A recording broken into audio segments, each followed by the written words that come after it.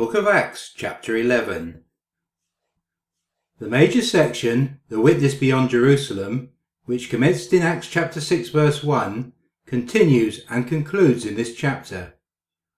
The section Peter preaches in the coastal towns, which commenced in Acts chapter 9 verse 32, continues and also concludes in this section. Summary of chapter 11.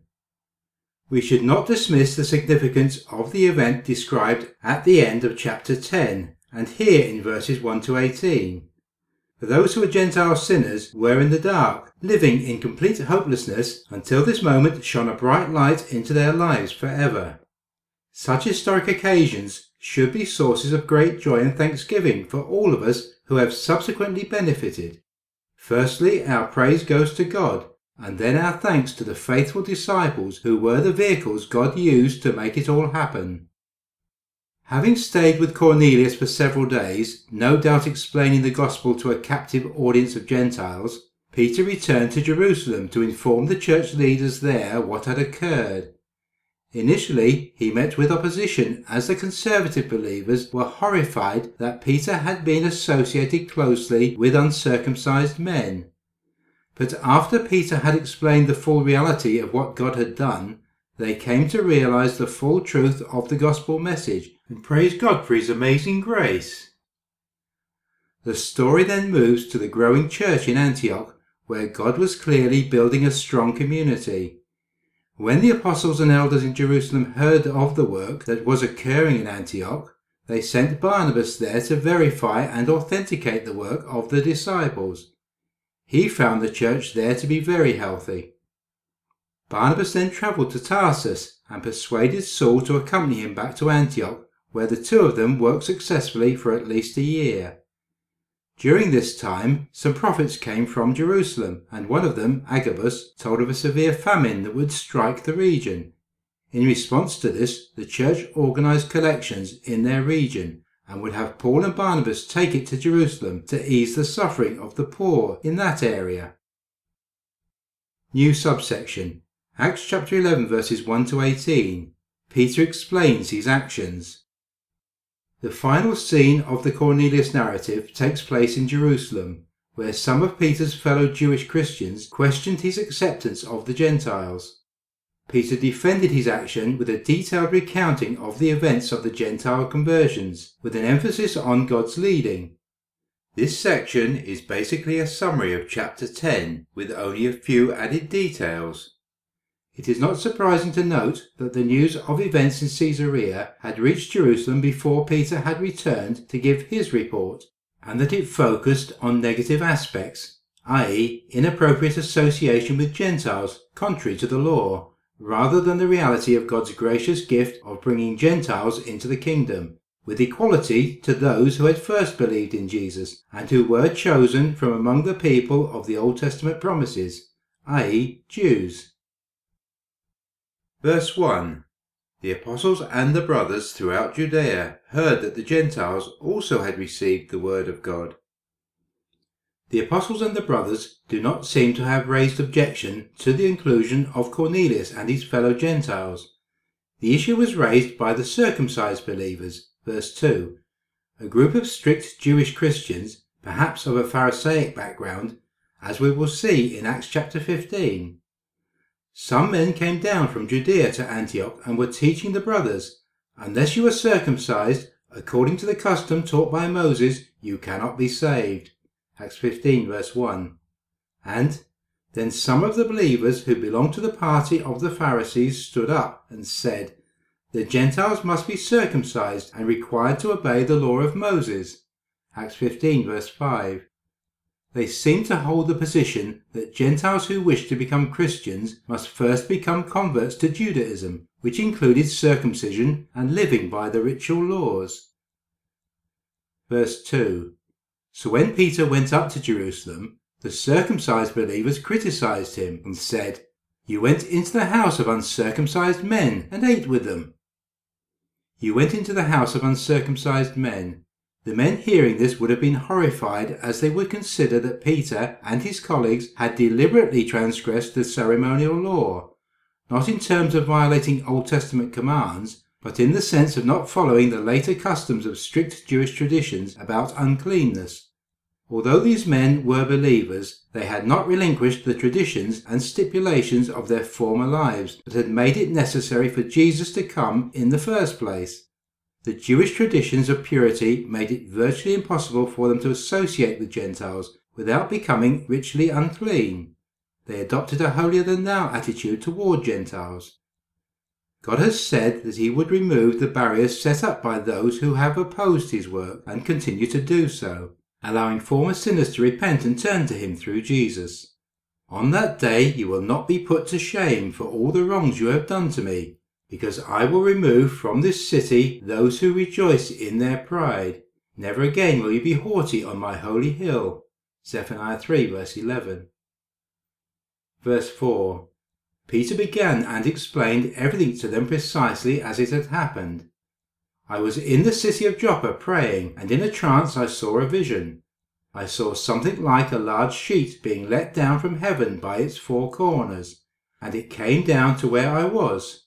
I looked into it and saw four-footed animals of the earth, wild beasts, reptiles, and birds of the air. Then I heard a voice telling me, Get up, Peter, kill and eat. I replied, Surely not, Lord. Nothing impure or unclean has ever entered my mouth. The voice spoke from heaven a second time, Do not call anything impure that God has made clean. This happened three times, and then it was pulled up to heaven again. Right then, three men who had been sent to me from Caesarea stopped at the house where I was staying. The Spirit told me to have no hesitation about going with them. These six brothers also went with me, and we entered the man's house. Peter gives a full account of what had occurred in his vision, including his own shortcomings in denying the instruction by saying, Surely not, Lord. Peter was to have no hesitation about going with them, nor must he show any discrimination between Jews and Gentiles. These six brothers were more than enough, for the law stated that at least two witnesses would have been required in any trial or hearing.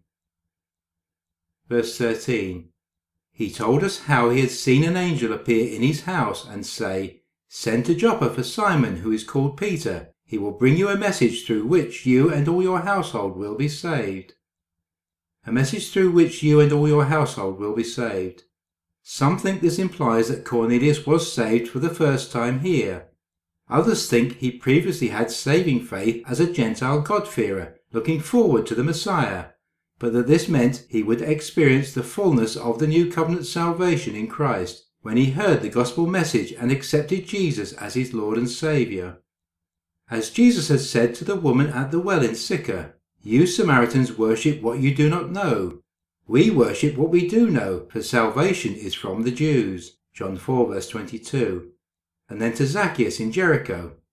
Jesus said to him, Today salvation has come to this house, because this man too is a son of Abraham. Luke 19 verse 9. Verse 15.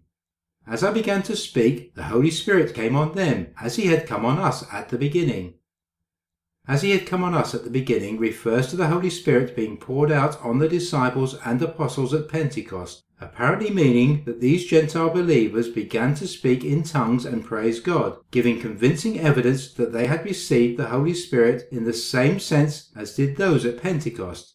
See also Acts 10 verses 44 to 48 and especially the comments made on 10 verse 47. The fact that the Spirit came to Cornelius and other Gentiles without them having undergone anything in relationship to the law is God's answer to the debate and settled matters as far as Peter was concerned.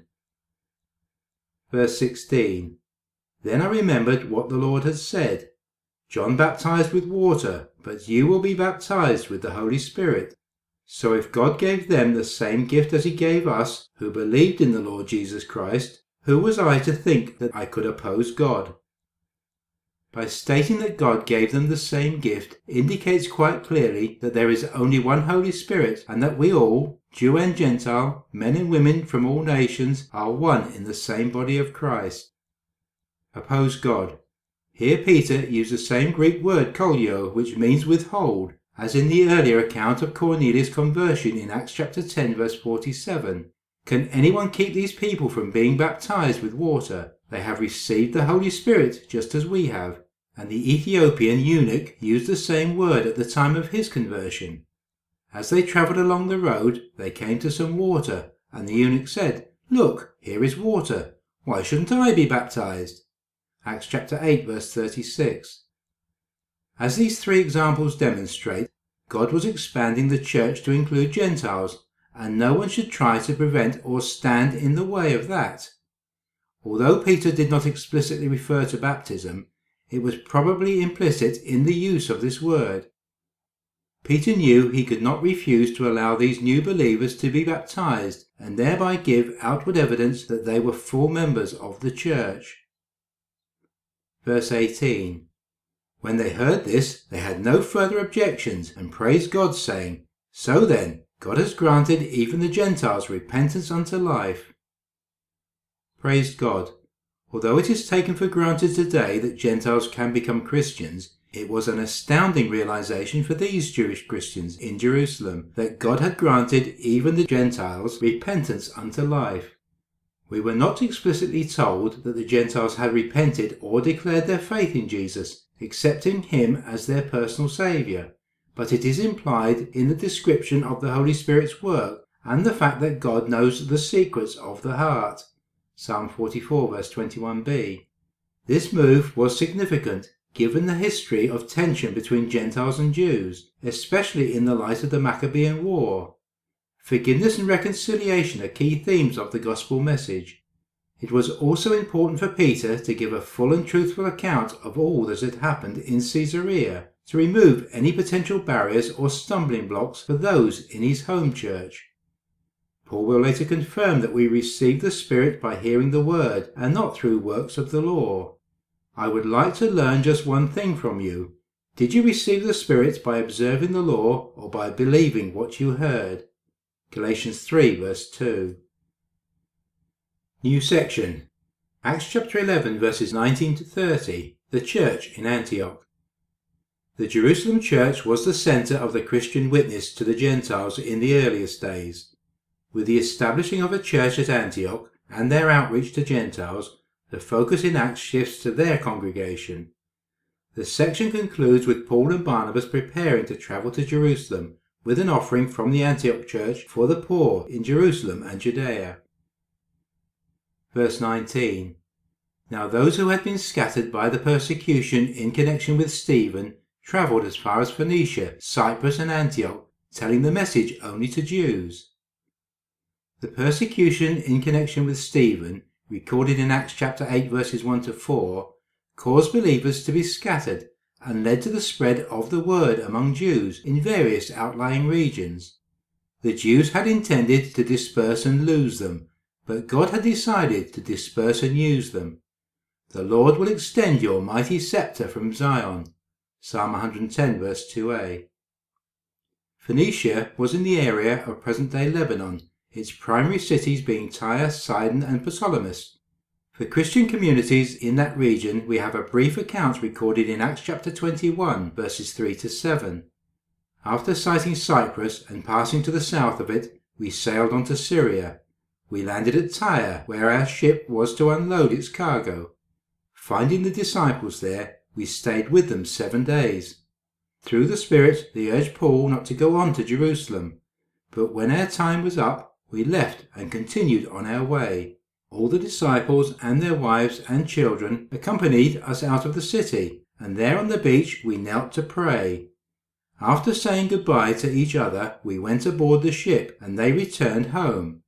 We continued our voyage from Tyre and landed at Ptolemais, where we greeted the brothers and stayed with them for a day. Cyprus is 100 miles or 161 kilometres off the coast of Palestine and was the home of Barnabas. The primary language of these areas was Greek, as it was for Antioch, modern-day Antakya, which in its time was the largest city in the area and capital of the Roman province of Syria, with a population of half a million or more. Only Rome and Alexandria were larger in ancient times.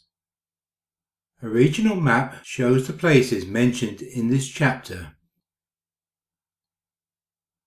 Antioch was reputed to be the third most important city in the Roman Empire behind Rome and Alexandria.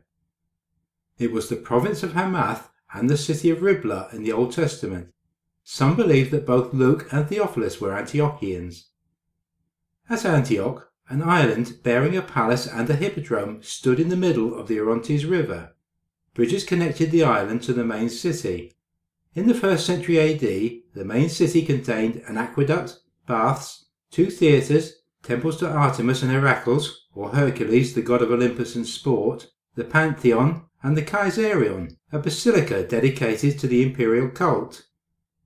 Prior to Paul's visit, an earthquake in 37 BC had devastated Antioch, but the Emperor Gaius, also known as Caligula, helped rebuild it. Antioch periodically hosted Olympic style games. Its great colonnaded and marble paved road has been sponsored in part by Herod the Great. Gaius was the adopted son of Tiberius and was emperor of Rome from AD 37 until his assassination in Antioch in AD 41. Telling the message only to Jews. Then the disciples went out and preached everywhere, and the Lord worked with them and confirmed his word by the signs that accompanied it. Mark 16 verse 20, and God also testified to it by signs, wonders, and various miracles, and gifts of the Holy Spirit, distributed according to his will. Hebrews 2 verse 4. These people had not yet heard about the events of Acts chapter 10 verse 1 to Acts chapter 11 verse 18. Verse 20.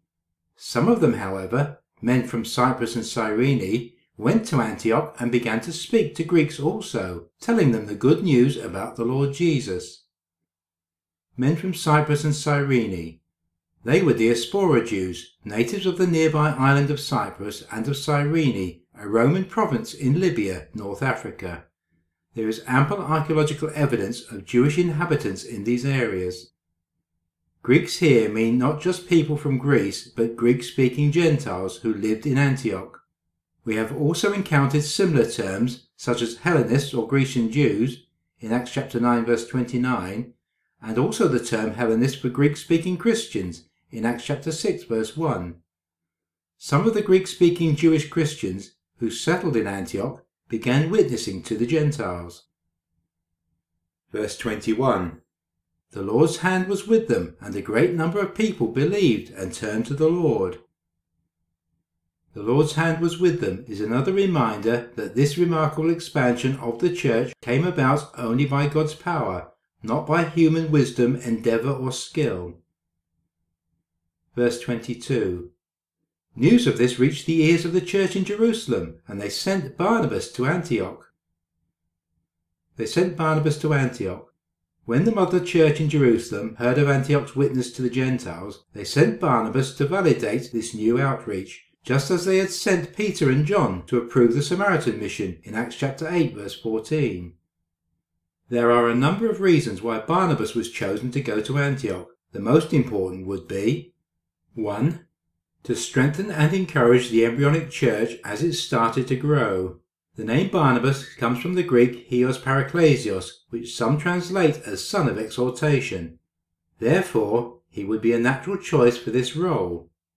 If it is encouraging, let him encourage. If it is contributing to the needs of others, let him give generously. If it is leadership, let him govern diligently. If it is showing mercy, let him do it cheerfully. Romans 12 verse 8. 2. To help establish some form of structure to enable the church to grow successfully and still be managed. 3 to ensure that the doctrine and quality of teaching was in line with that taught by Jesus. 4. To help with the teaching, Barnabas was a Levite and was thus used to serving in the Jewish synagogue and was certainly gifted in teaching, as we will see in the forthcoming chapters. What made him especially suitable was he was full of the Holy Spirit and faith. Verse 23 when he arrived and saw the evidence of the grace of God, he was glad, and encouraged them all to remain true to the Lord with all their hearts. He was a good man, full of the Holy Spirit and faith, and a great number of people were brought to the Lord. Full of the Holy Spirit and faith. This does not describe a single experience, but a general characteristic of Barnabas' life. The persecution by Herod, recorded in Acts chapter 12 verses 1 to 19, and Herod's death, see Acts 12 verse 20 to 23, would have been inserted at this point in the narrative if Luke had been writing everything in exact chronological order, because Herod died in AD 44, see Acts 12 verse 23, and Paul apparently stayed in Tarsus until AD 45, when Barnabas went there and brought him back to Antioch, verses 25 to 26. But Luke here departs from strict chronological order because he is telling the story of the church in Antioch. He continues on this topic until verse 30, and then turns to discuss what happened to Herod at about this time. Acts 12, verse 1. Verse 25 Then Barnabas went to Tarsus to look for Saul, and when he found him, he brought him to Antioch. So for a whole year, Barnabas and Saul met with the church and taught great numbers of people. The disciples were called Christians first at Antioch. Paul had gone to his native Tarsus after his conversion and his persecution in both Damascus and Jerusalem. Acts 9 verse 30. As a diaspora Jew, he was particularly suited for the Gentile outreach. His whole year of participation in this mission in Antioch was probably in AD 45, which prepared him and Barnabas for a much greater mission that would follow. Just as he had introduced Paul to the apostles in Jerusalem when others were reluctant to associate with him, so Barnabas travelled along the coast to Tarsus to bring Paul out of relative obscurity to serve at Antioch for at least the next year. Just as with his years in Arabia, we are not told what Paul achieved in Tarsus, but by bringing him to Antioch through Barnabas, Jesus had set the lamp on its stand. No one lights a lamp and hides it in a clay jar or puts it under a bed. Instead, they put it on a stand so that those who come in can see the light. Luke 8, verse 16. The fact that the disciples were called Christians first at Antioch probably reflects a label applied by the unbelieving public in Antioch and shows that the disciples were beginning to have an identity of their own, apart from other Jews.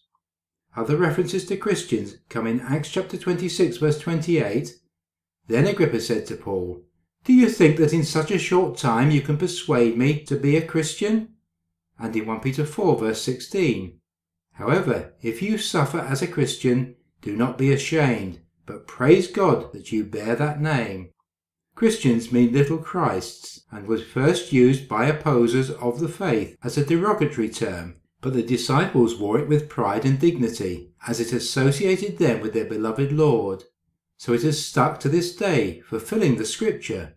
The nations will see your vindication, and all kings your glory. You will be called by a new name that the mouth of the Lord will bestow. Isaiah 62 verse 2. Before that they were called followers of the way, the way of life, and the Nazarene sect. Perhaps intended for the Jewish church we have, You will leave your name for my chosen ones to use in their curses. The sovereign Lord will put you to death, but to his servants he will give another name. Isaiah 65 verse 15. If we are to call ourselves Christians, then we need to ensure we do all we can to be like Jesus in every way. Alexander the Great is reported to have once said to a badly behaved soldier that bore his name to either change your name or change your manners. The offering for Jerusalem, verses 27 to 30. Saul and Barnabas represented the Antioch church by conveying its offering to the Jerusalem church in a time of need. This offering may have inspired Paul for his own organizing of an offering for Jerusalem sometime later. Now, however, I am on my way to Jerusalem in the service of the saints there. For Macedonia and Achaia were pleased to make a contribution for the poor among the saints in Jerusalem. They were pleased to do it, and indeed they owe it to them. For if the Gentiles have shared in the Jews' spiritual blessings, they owe it to the Jews to share with them their material blessings. So after I have completed this task and have made sure that they have received this fruit, I will go to Spain and visit you on the way. Romans 15 verses 25 to 28. Paul says in Galatians 2 verse 1 that this second visit to Jerusalem in verse 30 took place after 14 years presumably 14 years after his conversion, which would place this visit in either AD 45, 46, or 47. As discussed in chapter 9, most commentators believe that these calculations of years were not made according to modern standards of counting, which would require 14 full years, but by ancient inclusive methods in which part of a year was still counted as a year. Paul's 14 years could have been as little as a month or two from the first year, plus 12 whole years, plus a month or two from the final year, giving about 12 and a half years by modern reckoning. Likewise, the after three years of Galatians 1 verse 18 could be as little as 14 months. Verse 27. During this time, some prophets came down from Jerusalem to Antioch. Christian prophets are mentioned elsewhere in Acts, chapter 13 verse 1, 1532 and 21 verse 9. Their role involved edification and encouragement as they spoke things that had been revealed to them by the Holy Spirit. Sometimes such prophecies foretold the future, as Agabus did here. Verse 28 One of them, named Agabus, stood up and through the Spirit predicted that a severe famine would spread over the entire Roman world. This happened during the reign of Claudius. A severe famine. There were several famines in various parts of the Roman Empire during the reign of Claudius, AD 41 to 54, including several in Judea in the early years of his reign. Historians believe that this famine took place in the year AD 45 to 46 or else AD 47. Over the entire Roman world is a general prediction of the many regional famines that took place during Claudius' reign. The Holy Spirit had bestowed the gift of prophecy on Agabus, and he gave due warning of a famine that would come upon the Roman Empire, and did so during the reign of Claudius Tiberius Caesar. As a result, collections were made to ensure the poor in Judea were appropriately cared for. Although most New Testament prophecy is of a different nature to that of the Old Testament, we can still discern true prophets like Agabus in the same way as before. If what a prophet proclaims in the name of the Lord does not take place or come true, that is a message the Lord has not spoken. That prophet has spoken presumptuously. Do not be afraid of him. Deuteronomy 18 verse 22. And, but the prophet who prophesies peace will be recognized as one truly sent by the Lord only if his prediction comes true. Jeremiah 28 verse 9. They didn't have long to wait to test this one, as the famine occurred in either AD 45 to 46 or AD 47. However, the effects were felt for longer than this, as commodity and food prices remained high for several years, affecting the poor badly. But through this prophecy, the church was able to make provision to help, and happy are those who are concerned for the poor. The Lord will help them when they are in trouble. Psalm 41 verse 1. Good News Bible, and in times of disaster they will not wither, in days of famine they will enjoy plenty, but the wicked will perish. Though the Lord's enemies are like the flowers of the field, they will be consumed, they will go up in smoke. The wicked borrow and do not repay, but the righteous give generously. Psalm 37 verses 19 to 21. Jesus also advised us to sell your possessions and give to the poor. Provide purses for yourselves that will not wear out, a treasure in heaven that will never fail, where no thief comes near and no moth destroys. Luke 12 verse 33. One of their motivating forces is explained by Paul. Therefore, as we have opportunity, let us do good to all people, especially to those who belong to the family of believers. Galatians 6 verse 10. Of course, the Jews of the diaspora had traditionally sent alms to the poor in Judea. One well-known proselyte was Helena of Adiabene, wife of King Monobaz I.